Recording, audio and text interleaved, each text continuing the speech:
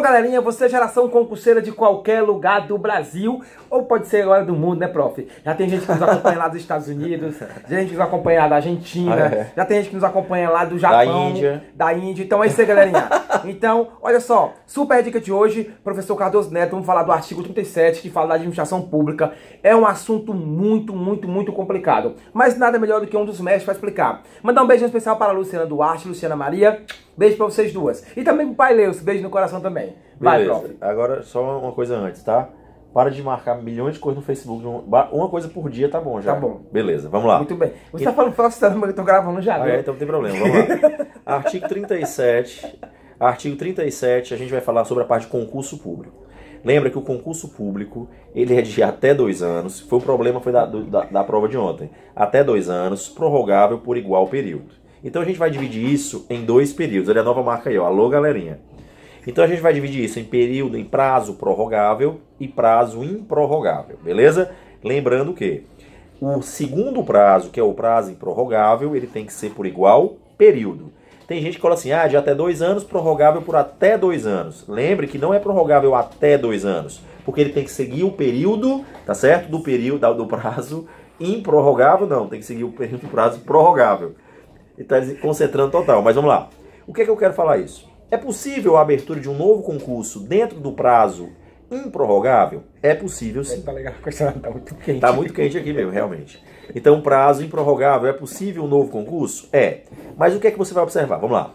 Vamos dizer que foi aberto um concurso público de 20 vagas e foram 30 pessoas aprovadas. Os 20 tomaram posse e os 10 estão esperando serem nomeados. O que acontece? No prazo improrrogável é aberto um novo concurso com mais 10 vagas. A questão é que não tem problema, eu posso sim abrir esse novo concurso, cuidado.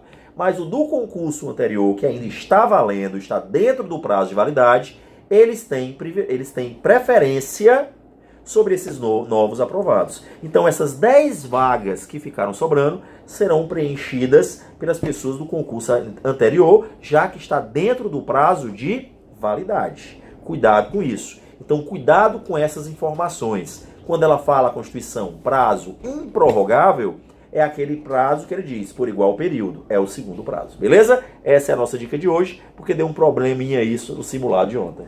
Prof, só para tirar uma dúvida também aqui, prof, a administração pública direta, ela é criada por lei? Não, não? a administração pública indireta, a indireta, ela se subdivide em autarquias, fundações, empresas públicas e sociedades de economia mista. Sim. As autarquias, elas são criadas por lei.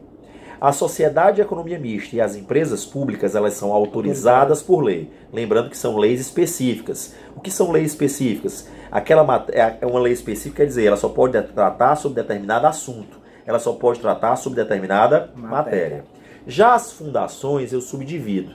Eu tenho fundações públicas autárquicas, são aquelas que são criadas por lei, e eu tenho as fundações públicas que são autorizadas por lei. Eu tenho que dividir isso aí. Ah, então. Pronto, tirei a dúvida aí, sabe de quem? Da minha amiga Cida, ela, ela ficou na dúvida, ela pediu para eu perguntar. Então é isso aí, galerinha, lembrando a todos vocês, amanhã 27, não é isso, Lu? Novas turmas aqui manhã, tarde e noite, a GPEM. Lembrando, a GPEM, Detran também, Lu?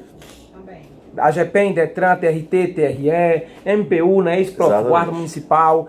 Olha só, galerinha, turmas a partir de amanhã. Amanhã iniciar-se-á novas turmas. Lembrando, 27 de junho de 2017. Colégio de Concursos, Cardoso Neto e Alô Galerinha, antenados 24 horas para deixar vocês sempre super atualizados. Fala que agora a Alô Galerinha virou uma grife, né? Ah, Alô Galerinha agora, no caso, Galerinha, agora é uma grife, tá? Estamos aqui em acordo... Por enquanto começou uma grife meio assim, mas depois ela vai ficar uma coisa mais sofisticada, tá?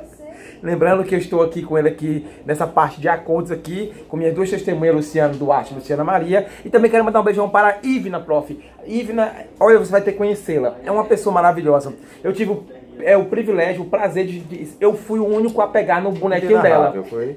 Eu fui simplesmente o único a pegar, ela não deixou ninguém pegar. Foi mesmo. Entendeu? Então, Ivna, beijo também para a Ivana também, para toda a galerinha de todo lugar do Brasil. Obrigado a todos, nosso canal do, YouTube tá bombando, graças ao professor Carlos Neto e todos os profs. Fanpage, alô galerinha, Facebook Giliardo Show, e também tem outro Facebook Giliardo Show. E não, esquece, e não esquece de me seguir lá no, no Instagram, Cardoso35, tá bombando. E o outro também? O outro eu já vou deletar, vou só Vai? Cardoso35. Só né? no Cardoso35? É. Gente, quando tá ficando chique, é desse jeito. Então, Colégio Tiradentes de Concursos, Bem Tiradentes e Grandes Conquistas começam aqui. Beijo a todos vocês. Valeu. Tchau, tchau.